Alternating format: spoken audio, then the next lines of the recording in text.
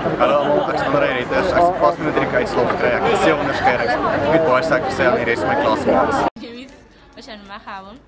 Ik zit aan school Park. Ik in class of 2020 and then ik passed my matric with bachelor and then I'm planning to go to University of Limpopo to further my studies and then study teaching. My name is Keketo Turijani and I just received my matric results and good luck to the rest of the matriculants of this year. Thank you. Uh, hi, my name is Karaburam Kuru. I'm a former learner here at Flora Park.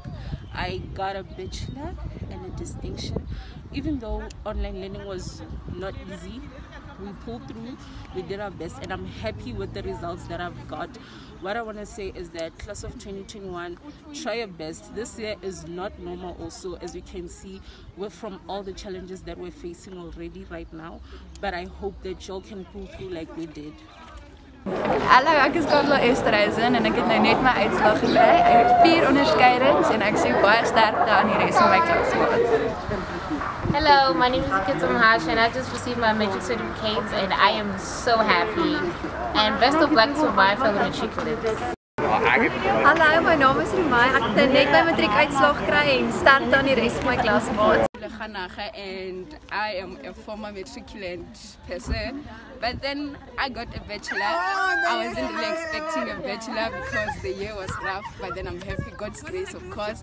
And I wanted at least two distinctions, but I got level six and everything. And online learning, online learning, it was effective to be honest. It was effective and it was helpful. All the teachers in Flora Park participated, helped helped us throughout. And yeah, to Matric 2021.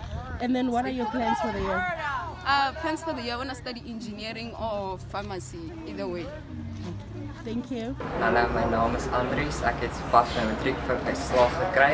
Ek wil net sterkte wens aan my medeleerders. My name is Rusnama Tiba, and I got uh, I got I got a bachelor with two distinctions.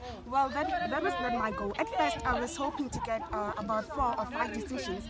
So I'm a little bit disappointed, but I'm grateful for all because we had a very tough year.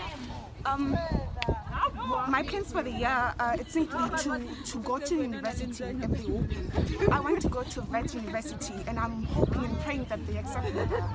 Thank you. We are the class of 2020, the matric of Tigzila. We are so happy that we passed because we had so many challenges due to COVID-19 and not being able to have online learning.